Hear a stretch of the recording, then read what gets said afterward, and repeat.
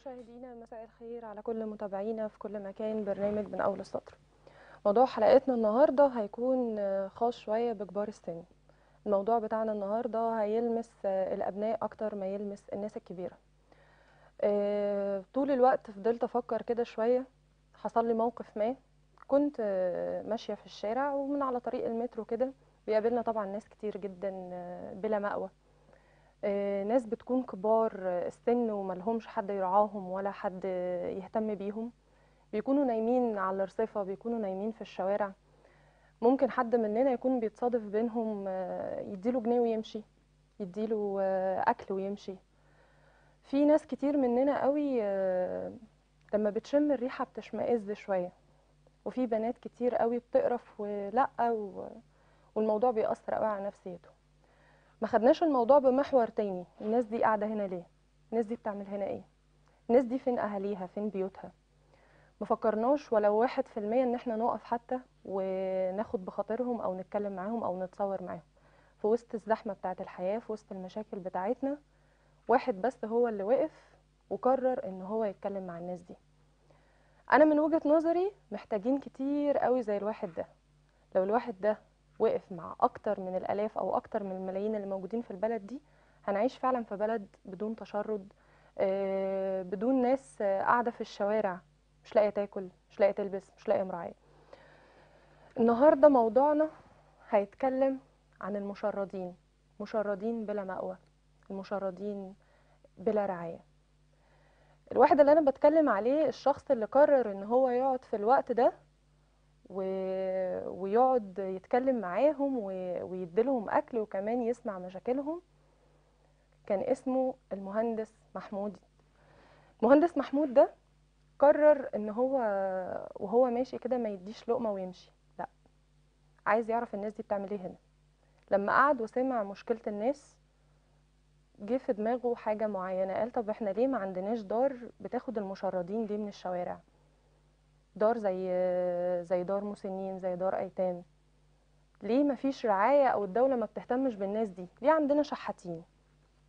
ليه كل هدفنا بس إن هما متسولين المهندس ده فكر في فكرة حلوة جدا.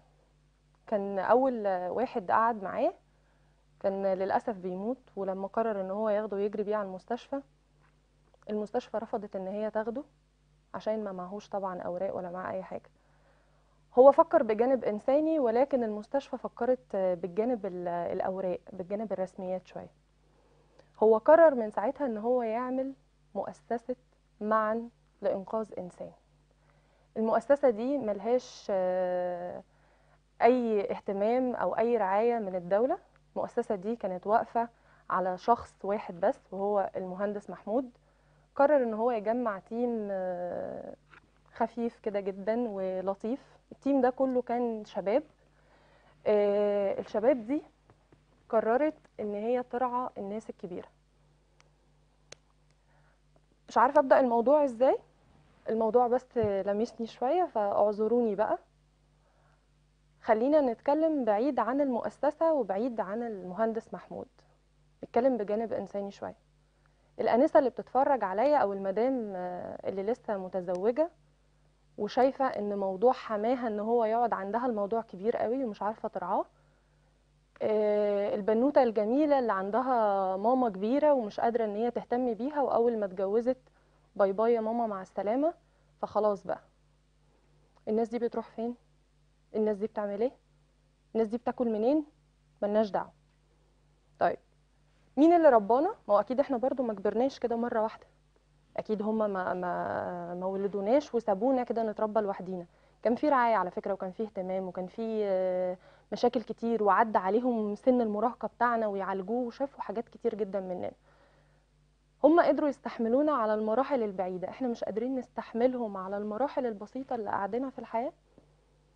مش قادرة أشيل حماية يقعد معايا شوية في البيت بقول له لا أنا لا باباك في البيت. لا هو الراجل المحترم اللي بيتفرج عليا النهاردة هي لو قالت لك لا أنا لا أبوك في البيت قول لها أبويا. قول لها أبويا عشان أنت طبيعي لو مالكش خير في أبوك ومالكش خير في أهلك مش هيبقى ليك خير في مراتك. المدام المحترمة اللي, اللي بتقول معلش يا ماما أنا آسفة مش هقدر أرعاكي عشان جوزي مش قادرة أقول لك غير إن أنت ما تمرش فيكي التربية. دي حقيقة. ما تمرش فيكي رعاية أمك وابوكي ليكي. ما تمرش فيكي الست الكبيرة اللي قعدت تعاني على مدار حياتها عشان تهتمي بيكي. بجامعتك بمصاريفك بكل التزاماتك.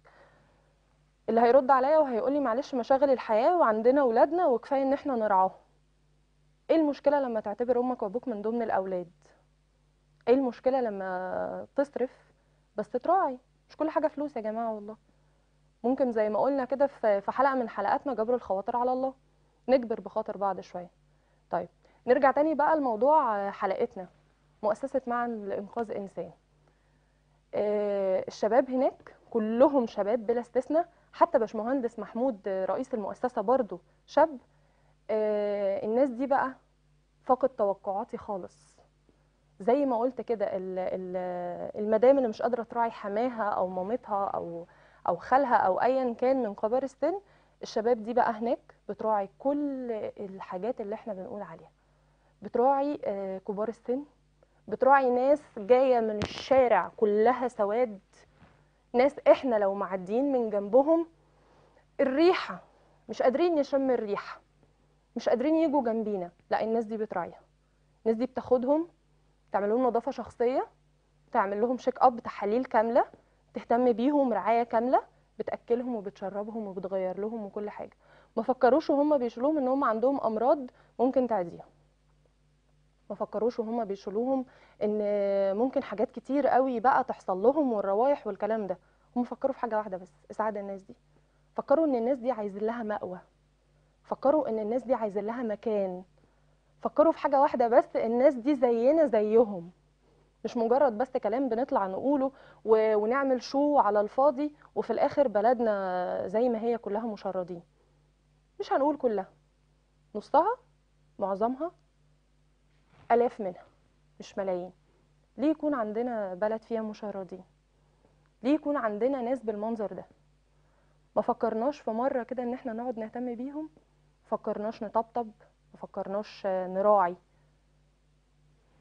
مش قادرة أقول غير إن إحنا بقى عندنا حاجة كده من لا وعي. بقينا عايشين بس على التنمر بقينا عايشين بس على التحرش. الشباب المحترمة. اللي بقى كل همها دلوقتي إن هي تتكلم. وتشير على الفيسبوك. وموضوع زلابيا اللي إحنا شايفينه من يومين اللي عمل trend wow. طب ما ممكن ننزل المؤسسة دي ونعمل trend wow برضه. بس ترند بجد. ترند من القلب. ترند من قلبي هيوصل لقلبك. الناس دي من حقها إن هي تعيش في حياة كريمة. من حقها إن هي تلبس وتاكل وتشرب. هتقولي طب ما أهلها رموها. هو إحنا هنبقى أطيب من أهلها؟ آه على فكرة. الرحمة من عند ربنا بتتحط في أي قلب. مش لازم عشان أكون قريبك أكون آه، حنين عليك. في مشاكل كتير قوي بتقابلنا مشاكل الورث مشاكل الإخوات حتى الإخوات ما بقتش بتحب بعض. مش لازم عشان أخوك أكون بحبك. بس في كل ده ربنا بيبعت لنا إنسان ممكن ما يكونش من دمي بس بيحبني جدا. المؤسسة دي أنا لقيت فيها اللي أنا بتكلم عليه ده. أنا نزلت بنفسي وشفت. مش عارفة أقول لكم إيه. مش عارفة آه، موضوعي هيخلص لحد فين. بس أنا بجد نفسي إن أنا في يوم من الأيام أعمل حلقة عن دار كبيرة بترعاها الدولة وبتاخد المشردين دي هي اللي بتلزمهم. الناس دي مطالبها قليلة جدا مطالبها بسيطة قوي. حلمهم كله وأنا بتكلم معاهم هناك في الدار إن نفسهم بس في مكان يلموه ولا أكتر ولا أقل. معانا مكالمة ونرجع نكمل تاني. ألو؟ خدني دلوقتي ألو؟ ألو السلام عليكم. عليكم السلام. ممكن حضرتك توطي التلفزيون؟ ماشي هو التليفون حاضر. خلاص أنا وطيت ألو؟ بقول لحضرتك حاجة أنا هقول لك حاجة عن حماية وجوزي. اتفضلي. وحضرتك بقى وحضرتك بقى تنصحيني أنا أعمل إيه؟ اتفضلي تحت أمرك. أنا دلوقتي جوزي بيقبض يعتبر يعني بيقبض زي 3000 في الشهر. وحماية بيقبض معاش يجي 4000 جنيه. وجوزي تمام. بياخد فلوس من ورايا ويروح يديها له أنا طبعا الفلوس مش مقضياني. تمام. فكده أنا حرام عليا لو منعت إن هو يديلهم ولا حلال. عشان أنا مش عارفة بس هو مع العلم إن حماية وحماتي بياخدوا معاش حلو يعني معاش يقضيهم مفيش إلا هي وهو. وأنا عايشة في شقه بالايجار وبدفع آه، اسانسير وكهرباء ومية ونور يعني وأنت عارفة ضغوط الحياة وكده. تمام. أنا طيب. كده مش عارفة أنا كده حرام عليا ولا حلال؟ حضرتك عندك كم آه، أطفال؟ لا أنا لسه ما معيش يعني ربنا ما رزقنيش بالأطفال. إن شاء الله ربنا بعمل عاملة عملية حقن مجاري وكده. بإذن الله ربنا يكرمك. طيب ال 3000 اللي هو بياخد القبض بتاعه اللي بيديه لحماكي أو لحماتك من وراهم بيدوهم كام؟ بيدي من ورايا. لا أنا صراحة وساعات بي... ساعات يديهم 1000 ساعات يديهم 500 وبيجيب لي القبض ناقص. بس أنا اكتشفتها صح تمام. ماشي. اتفضلي حضرتك وهرد عليك تحت أمرك. ماشي. مبدئيا أنا ما ينفعش أقول حرام ولا حلال لأن أنا بشر عادي أنا ولا دار إفتاء ولا أزهر ولا أي حاجة. فأنا هتكلم بالجانب الإنساني بتاع حلقتنا النهارده. المدام اللي اتكلمت وزي ما حضراتكم سمعتوا المشكلة. أنا هرد بس بمنطق آه، من وجهة نظري. حضرتك دلوقتي بتشتكي إن هو بيقبض 3000 جنيه وبياخد مبلغ من وراكي بيديه لحماتك وحماكي. تمام. انت بتشتكي ان طبعا الحياة وما بتكفيش والمصاريف والكلام ده كله على الرغم ان مفيش أطفال ومفيش التزامات اللي هي الإجباري لينا. طيب ما تيجي تاخديها بجانب تاني لو يعرف واحدة عليكي. أنا آسفة طبعا في في اللفظ اللي أنا هقوله بقى. لو هو بيعمل حاجة غلط من وراكي ويعرف واحدة عليكي وبيصرف عليها الفلوس دي. هتعرفي؟ مش تعرفي. بجد مش تعرفي؟ خلينا خلينا صراحة شوية.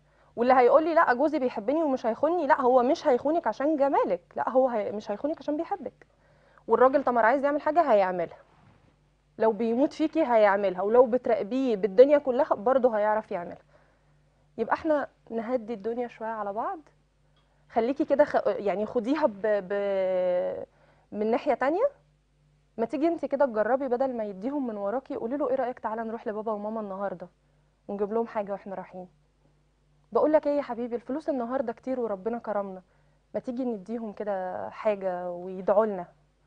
على فكرة ال 200 300 جنيه ولا ال 1000 جنيه اللي هو بيديها للحاج وللحاجة مش الواو خلي بالك. مش هم دول اللي هيعيشوا برضه. ربنا ممكن يرزقنا بفلوس كتير قوي بس البيت ما فيهوش رضا الفلوس كلها هتروح. الطمع والعين والجشع وكل حاجة إحنا مش حامدين ربنا عليها زي ما بتيجي زي ما بتروح. وبنلاقي الفلوس في الآخر ما فيهاش بركة. وكتير جدا مننا على فكرة. ممكن أنا ممكن أمسك فلوس كتير جدا وألاقيها بتتصرف مني من من لا شيء. واقول الفلوس ما فيهاش بركة. فيا حبيبة قلبي آه، مني ليكي خديني أخت خديني صاحبة. أنا بقول لك والله بجد الفلوس اللي بيديها لحماكي أو لحماتك ممكن هي اللي مخلية الرضا في البيت بينك وبين جوزك. ممكن دعوتهم هي اللي بتشفع لك لأي مشكلة بينكم أنتوا الاتنين. هوني على نفسك وهوني على جوزك حتى لو انت حاسة إن الألف جنيه دي هي اللي مقصرة في البيت قولي يا رب. ربنا مش هيسيبك مش هيسيب حد. بس فكري من ناحية تانية. لو انت والدتك موجودة وانت معاكي وربنا كرمك حتى لو خمسة في المية مش تديها واحد في المية؟ هتستخسري فيها؟ هو كمان ما يقدرش يستخسر فيهم لأن أم وأب. انت لما ربنا يرزقك بأولاد وإن شاء الله يرزقك وتكبري. هتقدري إن انت تنزلي تشتغلي؟ حتى لو قدرتي تشتغلي على فكرة. هتحسي إن الجنيه اللي ابنك بيديهولك ده ليه فرق تاني خالص. هتحسي إن ليه طعم تاني خالص. ثمرتك طرحت قدامك هي اللي بتدي دلوقتي. زي ما قلتلك كده هوني على نفسك. ربنا مش هيسيبك ولا انت ولا جوزك. آه، حنني عليه هو وأهله. وإن شاء الله ربنا يجازيكي خير على اللي انت بتعمليه. وانت على فكرة من جواكي طيب والله. يعني انت صوتك كله كان طيب أنا عارفة. انت ممكن بس تكوني محتارة شوية بس ما تسمعيش للغير. ما تخليش حد يسلطك على أهل جوزك ويقول لك لأ وهو يديلهم ليه؟ انت أولى الجنيه مش عارفة إيه الكلام ده كله. قولوا لهم الحمد لله الحمد لله دا دائما وابدا. معانا مكالمة أستاذ محمد ألو؟ السلام عليكم. عليكم السلام اتفضل. والله أنا يعني أنا في. في في حاجة بالنسبة لي كده واخد بالك يعني في. أمي آه، كان حصل في حاجة بيني وبينها كده وتوفت البقاء لله يا فندم اتفضل ربنا يبارك فيها آه، والدتي كانت راحت عمرة آه، عمرة مرة فراحت يعني بالسلامة. ورجعت بالسلامة فجت بعدها بشهرين حبت تروح عمرة تانية فقلت لها أمي خليكي خلي الفلوس معاكي وهي ست مريضه السكر خلي الفلوس معاكي ربما تحتاجيها بكرة مثلا ولا كذا ولا كذا ولا كذا. قالت لا هروح. أنا كنت في أنا شغال في القاهرة حاليا. تمام. وكنت في القاهرة فكلمتها على التليفون وقلت لها يا أمي خلي الفلوس معاكي وكذا وكذا وكذا وكذا. قالت لي هروح. راحت ودت الجواز بتاعها لشركة السياحة. وشركة السياحة خدت منها الجواز وخدت منها الفلوس. فلما تمام لقيت الموضوع كده إن هي خلاص نوت إن هي تسافر فرحت آه، نازل من القاهرة. آه، قلت أسلم عليها. فرحت سلمت عليها واديتها اللي فيه النصيب والست سافرت بالسلامة. تمام. ال- اليوم اللي رجعت فيه من السفر اتوفت فيه. يعني رجعت من السعودية اليوم اللي رجعت فيه اتوفت فيه. وأنا كنت برضه كنت في القاهرة رجعت القاهرة لشغلي تمام. فطبعا أنا يعني لما رجعت القاهرة وقالوا لي إن أمك اتوفت أنا أنا مش عارف يعني مش عايز أوصف الحزن اللي كان جوايا واخد بالك إن أنا ان أنا كنت رفضت ان هي تسافر السعودية وكذا وكذا عشان خاطر الفلوس تخليك تخليها معاها على أساس إن هي تصرفها على ال- على مثلا على العيش بتاعها أو كذا. فنزلت على وفاتها نزلت شفتها. يعني ما ما ما ما رضيتش اخليهم يطلعوها غير لما شفتها شخصيا وقعدت احب فيها وأقول لها سامحيني لو أنا كنت زعلتك ولا كذا ولا كذا ولا كذا. تمام. آه، فأنا فأنا عايز يعني عايز أعرف هي هي هي راضية عني ولا زعلانة مني بس مش أكتر ولا أقل من كده. تمام. هرد على حضرتك. و ماشي. شكرا يا فندم. اتفضل. آه، اولا البقاء لله. ثانيا هرجع وأقول برضو أنا مش شيخ أزهر عشان يقول حلال ولا حرام. إحنا بنتكلم النهارده من الجانب الإنساني اللي هو من القلب للقلب. بقول كلمتين يخشوا قلبك وأنت بتقولي كلمتين عشان تسمع رأيي. أنا أختكم. يعني اللي يكلمني النهارده يكلمني ان إحنا اخوات. آه، طيب. الحاجة توفاها الله كانت مصرة جدا ان هي تطلع العمرة وابنها ما كانش راضي زي ما إحنا سمعنا في المكالمة. هي دي حاجة بقى بينها وبين ربنا هي كانت حاسة ان هي لازم الختام بتاعها يكون كده. فاحنا مش مش هنقدر نقول هي راضية عنك ولا لأ بس أنا حاسة إن إن أنت ما زعلتهاش. يعني من من كلامك اللي أنت حكيته لنا إن أنت ما زعلتهاش خالص. آه، ربنا جعل ختمتها حلوة قوي. جعلها عايشة راضية وتوفت راضية. مش كل حاجة إحنا بنطلبها بنلاقيها مش عشان أنا قلت لوالدتي لأ ما تطلعيش تعملي عمرة وشايفة من وجهة نظري إن الفلوس دي تنفع للعلاج أو لأي حاجة تانية فخلاص أنا لازم وجهة نظري تكون صح. لأ خالص ممكن زي ما قلت لك كده هي حاجة من عند ربنا ليها إن ختمتها تكون حلوة بالشكل ده. وبعدين أنت رضيتها قبل ما هي تسافر ورضيتها كمان آه، لما ربنا افتكرها شفتها قبل ما ما تقوم الدفنة. فهو الموضوع كان بسيط. هو طبعا الفراق صعب جدا جدا. آه، ربنا يرحمها والبقاء لله. وإن شاء الله إن شاء الله ربنا يجعل حسن ختامنا زيها كده. وما تزعلش يا محمد. ما تزعلش ربنا شايل لك الأحسن وإن شاء الله آه، في الجنة هتتقابلوا أنتوا الاثنين بإذن الله بعد عمر طويل طبعا. مش هطول عليكم أكتر من كده هنطلع لفاصل بسيط جدا. هنجيب النهارده ضيوف حلقتنا معانا وهنتكلم بقى في كل حاجة تخص حلقتنا. مشاهدينا ورجعنا لكم تاني بعد الفاصل. آه، ضيوف حلقتنا اللي هيكونوا منورينا النهارده هتكون معانا أستاذة دعاء مسؤول العلاقات العامة بمؤسسة معانا لإنقاذ إنسان. أهلا بيكي يا أستاذة دعاء.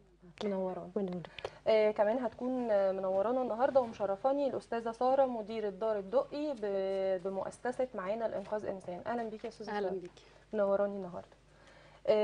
طبعا آه، زي ما أنتوا كنتوا سامعيننا كده بقى في أول الحلقة. تمام. كنا بنتكلم في موضوع بيهم مش هقول كل بيت إحنا هنتكلم النهارده في موضوع بيهم آه، كل إنسان. الدولة. كل إنسان. لا الدولة.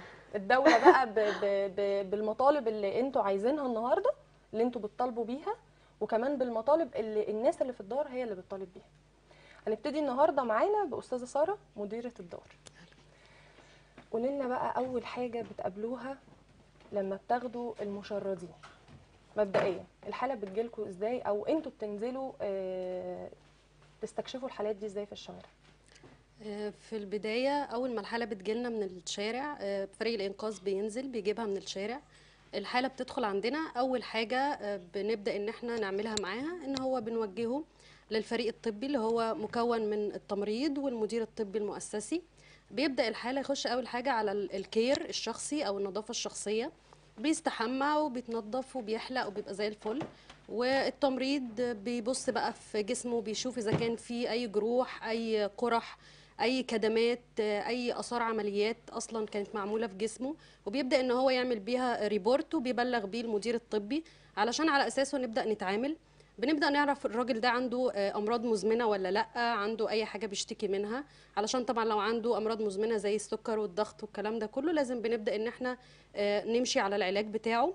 لو في حاجة أكبر من إن إحنا نقدر نعملها معاه أو الإسعافات الأولية العادية آه، بتبدأ دكتورة أمل آه، المدير الطبي بتاع المؤسسة بتحول طبعا على المستشفيات علشان لو في عملية أو في حاجات أو في كسور في حاجات إحنا ما نقدرش إن إحنا نعملها. إحنا كمان معانا صور دلوقتي على الشاشة بتوضح الكلام اللي أستاذة سارة بتقوله آه، قبل وبعد كمان. اتفضلي. آه، بعد كده بنخش بقى على ال- الشق التاني وهو شق الأخصائيين. الأخصائيين الاجتماعي والنفسي بيقوموا بدور مهم جدا في المؤسسة. هم بيبدأوا إن هم يقعدوا مع الحالة بعد ما بيطمن لنا يومين ثلاثة لأن هو أصلا طبيعي بيبقى في الشارع فقد الثقة في في كل اللي حواليه. لأن هم أهله نفسهم رموه في الشارع فهو دلوقتي آه، فقد الثقة في كل اللي حواليه. بنبدأ نقعده مع الأخصائيين الاجتماعي والنفسي وبيبدأ يقعد معاهم. آه، بيبدأوا يتكلموا معاه يعرفوا إيه الأسباب أصلا اللي أدت إن هو نزل الشارع. إيه المشاكل اللي قابلته آه، مين أصلا اللي كان السبب في إن هو نزله الشارع. ومن خلال الكلام معاه والتفريغ النفسي اللي بيعملوه للنزيل بيبدأ إن هو يعرفهم على أهله وعلى بيته. ده لو كان نورمال المهم آه، ممكن من خلال طبعا النزيل ومن خلال البيانات اللي هو بيدلي بيها بنعرف إن إحنا نعمل حاجة اسمها دمج أسري. بنتكلم مع الأسرة وبنحل المشاكل اللي حصلت واللي أدت إن هو نزل الشارع بسببها وبنحل المشاكل دي وبنبدأ إن إحنا نعمل دمج أسري وبنرجع النزيل تاني لأهله. دوت لو الحالة normal أما الحالة لو abnormal عنده زهايمر مريض نفسي مش بنقدر للأسف نتوصل لأهله ولا بنتوصل بالظبط. جدا. مش تمام. مش بنعرف نوصل لأي حاجة أو أي معلومات. بيفضل عندنا معزز مكرم وفي طبعا الصفحة بتاعتنا بتاعت المؤسسة صفحة مؤسسة معانا لإنقاذ إنسان من خلالها بنعرض الصور بتاعت النزيل وفي ناس بتتعرف عليه من خلال الصفحة. بيبدأوا إن هم يعرفوه من خلال الصفحة وفي ناس بتيجي تاخده آه، من من خلال الصفحة بتاعتنا. بس بي إحنا بنحاول نكون لهم جو أسري. إحنا عايشين في بيت عادي جدا آه، بيت فيه طبعا هيكل وظيفي متكامل من مدير الدار المدير الطبي المستشار القانوني. المستشار القانوني طبعا دور مهم جدا لأن أول ما النزيل كمان بيجي لنا بنعمل له محضر إثبات حالة في أقرب كويس اسم. لينا بنعمل له محضر لو لو حد. مبلغ عنه يعرف علشان لو. حد من أهله مبلغ عنه أو لو حد عنده. زهايمر أو كده بيتعرفوا عليه من خلال المحضر ومن خلال الاسم الشرطة إن إحنا بنبقى مبلغين إن الحالة دي عندنا بنعمل اختار في وزارة التضامن الاجتماعي بنختارهم إن الحالة دي برضو عندنا موجودة في الدار آه، كل كل الحاجات دي والإجراءات دي لازم تتعمل طبعا والنزيل موجود عندنا بعد كده هوت إحنا بن بنعمل إيه في يومنا الطبيعي؟ عندنا أنشطة كتير. بنلعب دومنه بنلعب كوتشينة بنتفرج على التلفزيون بنهزر آه، بنلعب بنخرج بنروح آه، أماكن كتير بنروح مثلا آه، زي المنتزهات والحدائق. كل صيف بناخدهم بنروح رحلة. بالمناسبة بمناسبة الرحلات هم أصلا دلوقتي المهندس. رحلة أسوان آه، وحيد. وأستاذ حاتم زهران وأستاذة شيماء ما- وحيد هم واخدين النزلة دلوقتي في رحلة لأسوان واخدين بعض النزلة والحقيقة هي برضو الرحلة دي آه، احقاقا للحق اللي منظمها هي وزارة التضامن الاجتماعي. لا انت ما تحرلناش الرحلة بقى عشان ال- المجهود ده كله يروح طبعا بقى الباشمهندس محمود. لا هو الباشمهندس محمود طبعا. معانا اهو دلوقتي جهزوه. الإعداد بيقول لي جهزناه في مكالمة مش هنحرقه بقى يا سارة إحنا تمام. خليه يتكلم أستاذ اتفضل. محمود اتفضل. ألو. ألو. باشمهندس محمود اتفضل. ازي حضرتك؟ الحمد لله. ازيك يا فندم؟ اتفضل. الحمد لله. آه، طبعا معانا النهارده بقى مديرة الدار عندكم مشرفانا ومعانا كمان أستاذة دعاء المسؤوله عن العلاقات العامة. آه، هم بيمثلوك هنا فعلا يعني الناس قايمة بشغلها جدا. ربنا معاكم طبعا ومعاهم. دول آه، رجالتنا رجالتنا اللي شايلين بجد. إحنا هنا آه، في أسوان مع جزء من النزلاء في رحلة رحلة ترفيهية للحالات وهم شايلين الدنيا يعني في ال- في المؤسسة. ب- شكرا ليهم وشكرا لمجهودهم بجد وشكرا لحضرتك على الاستضافة. ميرسي لحضرتك جدا. حضرتك فعلا ونعمة أنا دخلت الدار دي وشفت قد إيه الناس بتدعي لك. في كل intro كنت بعمله مع الناس كانت قد إيه جملة باشمهندس محمود باشمهندس محمود.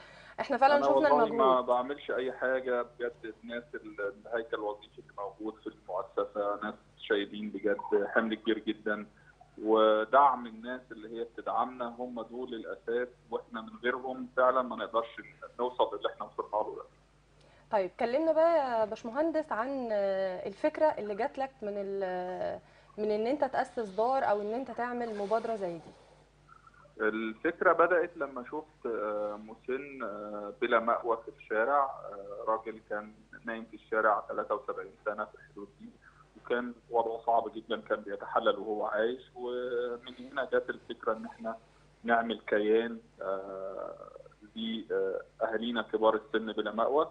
لأن ما كانش في أي كيان في مصر بيخدم الفئة دي فقررنا إن إحنا آه، نعمل لهم مؤسسة معانا لإنقاذ إنسان لرعاية كبار السن. وده التخصص بتاعنا آه، ويكون عندنا حلم إن الناس دي تعيش حياة كريمة وتبقى مصر خالية من المشردين كمان. وفعلا حضرتك بالفعل عملت كده. أنا دخلت الدار عندكم لقيت حاجة حلوة قوي ما بين الناس. لقيت فيه تعاطف ولقيت فيه إنسانية ولقيت فيه تقدير وكمان رعاية واهتمام. آه، حضرتك طبعا المفروض بقى كنت تنورنا النهارده بس رحلة سعيدة بإذن الله. وترجع لنا بألف ربنا خير يا باشمهندس. ربنا يخليك. و يا ريت نقدر نسعد أهالينا بإذن نزلاء. الدار إحنا هنا والله عشان نسعدهم هم الأساس. آه وشكرا لحضرتك وكنت أتمنى أبقى معاكي. بس معانا هو آه، أستاذة دعاء وأستاذة سارة آه يعني هيقوموا بالمهمة. طبعا كلمنا بقى عن دور ال- الجايزة اللي حضرتك خدتها. جايزة صناع الأمل دي جايزة آه، بيعملها سمو الشيخ محمد بن راشد رئيس وزراء آه، الإمارات وحاكم دبي. آه، ودي جايزة بتتعمل لأفضل عمل خيري على مستوى العالم العربي. آه، كان مشترك فيها 87 ألف مشترك على مستوى ال- الدول العربية كلها. تمام. والحمد لله وبتوفيق ربنا وبدعم الناس لينا قدرت أحصل على المركز الأول من 87 الحمد الف صانع امل الحمد لله. مبروك ليكي الجايزة يا باشمهندس حضرتك تستحقها وبجدارة فعلا. الله يبارك فيك الله يبارك فيك شكرا لحضرتك جدا. شكرا. شكرا آه، طبعا زي ما حضراتكم آه، سمعتوا ده باشمهندس محمود هو اللي مؤسس آه، مبادرة معانا لإنقاذ إنسان آه، رئيس الإدارة. وهو بجد يعني أخ ليهم أنا ما شفتوش خالص إن هو رئيس مجلس إدارة هناك. أنا لقيته أخ ولقيته صاحب ولقيته أب لناس كتير هناك. بنتمنى إن إحنا يكون عندنا ملايين زي باشمهندس محمود. هنرجع تاني بقى لضيوف آه، فقرتنا النهاردة وهنرجع بقى تاني للأستاذة دعاء. احكي لنا بقى دور العلاقات العامة في المؤسسة. دور العلاقات العامة في المؤسسة هي أولا وآخرا انتشار الفكرة. أو إن إحنا نؤمن إن في ناس في مصر أو في حياتنا يستحقوا إن إحنا يعني نديهم زينا بالظبط. انت لسه قايلاها في أول البرنامج كنت بسامعاكي إن إحنا في أول حاجة في حياتنا لما بنشوف الناس دي بنخاف. آه، الريحة بتبقى فظيعة. آه، عارفة انت؟ أنا كنت كده يعني. أنا من الناس دي كده. لحد ما أنا قربت منهم لأ هم ناس كانوا زينا بالظبط و... زينا بالظبط يعني لا اختلاف في حاجة ولا هم مثلا حاجة ربنا خلقها ليهم جزء لا هم زينا بني آدمين. آه، آه، ليهم ظروفهم الخاصة اللي الأستاذة سارة قالت عليها إن هو بيحصل لهم صدمة في حياتهم بتأدي بيهم إن إحنا يبقوا في الشارع. للأسف الدولة مش بتديهم حقوقهم كاملة لما بنيجي ناخدهم مفيش أوراق مفيش عربية إسعاف ممكن تاخدهم عشان مجرد ممكن يسيبوا يموت لمجرد إن هو ما عندوش أوراق ثبوتية. بتثبت إن هو بني آدم من حقه يتعالج. آه، ممكن يموت عادي مفيش مشكلة. آه، إحنا بنحاول نطور الفكرة. بنحاول نجذب الناس لينا على قد ما نقدر. آه، لأن لازم كلنا نعرفهم وكلنا نساعدهم وكلنا نمد لهم إيدينا وناخدهم على قد ما نقدر. باشمهندس محمود وأستاذة سارة وأستاذ حاتم آه، أستاذ شيماء كل الناس في المؤسسة بصراحة قايمين بدورهم على أكمل وجه. اللي هو ما فيش أي حاجة تحسي إن انت إيه آه، في مؤسسة انت في بيت. مظبوط انت في. بيت انت لسه قايلة آه إحنا إحنا في بيت مش في مؤسسة لا لا فعلاً. مش في بيت حتى الناس لما بيجي لنا مشاهير جن بيجي لنا مشاهير كتير جدا جدا كويس آه آه، يعني لسه كنا عاملين من قريب جدا حفلة راس السنة جه شوية يعني مشاهير ما شاء الله عليهم آه، الناس كلها جت وانبسطت جدا في دعم في دعم. لو ما فيش دعم من الدولة وحاطه الدولة حطت ال- الدار دي كميكروسكوب ففي دعم من الفنانين صح كده؟ صح، هو الاعلاميين ال- الدعم بيبقى. معنوي. بالظبط. آه، يعني خلينا نتكلم ونوضح أكتر الدعم معنوي- مش مادي. دعم مادي في دعم يعني معنوي. آه يعني الدعم المادي اولا وأخيرا بيبقى من أهل الخير. المؤسسة قائمه كليا وجزئيا على تبرعات أهل الخير. آه، الدولة يعني آه، زي ما أستاذة سارة قالت وزارة التضامن في تعاون وكل حاجة. بس هي المؤسسة قائمة كليا وجزئيا على تبرعات أهل الخير. آه، بنحاول نوسع الفكرة ون يعني نعمل إن النشاط بتاعنا يبقى على كل المحافظات. عندنا فرق آه، إنقاذ في كل المحافظات بتاعتنا. عندنا متطوعين في كل المحافظات. عايزة أقول لك إن إحنا بيجي لنا على ال hotline. أنا اديتهم الرقم بتاعنا. آه إن هو يعني ال hotline بتاعنا ما بيبطلش. الناس كلها عايزة تساعد الناس كلها عايزة. آه كل الناس. آه، في في آه، حالة في الحتة الفلانية تعالوا خدوها. آه، الخير في آه. آه جدا. إحنا بنتمنى إن إحنا نمشي في الشوارع ما نلاقيش أي مشردين إحنا حلمنا ده. عايزة أقول لك إن هو انت نفس انت نفسك يعني انت هترتاح جدا. واللي هو انت لما بتشوفي حالة دلوقتي إيه ده؟ مؤسسة معانا انقاذ إنسان. يعني عارفة انت؟ في في. دلوقتي إيه؟ زمان كنا بنشوف ما فيش حاجة بنعملها. يعني. هنعمل إيه؟ ما فيش حاجة مش مش قادرين نعمل حاجة. بنخاف. آه، في ناس للأسف بتقرف. آه، ما فيش حاجة. دلوقتي لا في في بنقول نعمل إيه؟ الناس بتتكلم لو شفنا حالة نقدم لهم إيه؟ طب لو شفنا حالة طب نجيبها لكم. طب لو شفنا حالة آه، مش عارفة في الحتة الفلانية. طبعا هو في شق يعني كذا شق عندنا المتسولين والمشردين والمرضى النفسيين. يعني إحنا عندنا كذا شق بنتعامل معاه. إحنا بناخد المشردين. اللي هم مش ال- المتسولين. لا. مش المتشردين بس عشان المشردين. ال- الجمهور ال- المشردين، آه. المشردين غير المتشردين المشردين اللي هم من غير مأوى ما عندهمش أهالي ما عندهمش. رعاية ما عندهمش بيوت المتشردين اللي هم المتسولين فكده معانا بقى طبعا مش قادرة أقول إن الحلقة بتاعتنا المفروض كانت تبقى أطول من كده ولكن طبعا وقتنا بيجري بسرعة جدا فبنشكر أستاذة سارة بنشكر أستاذة دعاء بنشكر آه، باشمهندس محمود رئيس مجلس إدارة معنا لإنقاذ إنسان. بإذن الله هنعمل حلقات كتير جدا عن الموضوع ده لأن الموضوع ده مش هيخلص في حلقة ولا اتنين. ولكن أشوفكم على خير بإذن الله آه، في حلقات جديدة. ويا رب صوتنا النهارده يوصل لكل أهالي الخير مش ريت. للدولة بس مطالب الناس دي بسيطة جدا جدا جدا مطالب الناس دي بتقول لكم دلوقتي عايزينكم حاجة. معانا إحنا عايزينكم معانا إحنا عايزين كل حد مش زي ما قلت لكم وقتنا بقى مش هيسمح فتابعونا على ال social media رقمنا. البرنامج بتاعنا وكمان على أرقامهم وأي حد عنده حالات من من النوع ده أو شافها يتواصل معاهم وكمان يتواصل معانا لو ما عرفش يتواصل معاهم يتواصل معانا من خلال البيج بتاعنا بتاع البرنامج شكرا ليكم وأشوفكم في حلقة جديدة من أول السطر.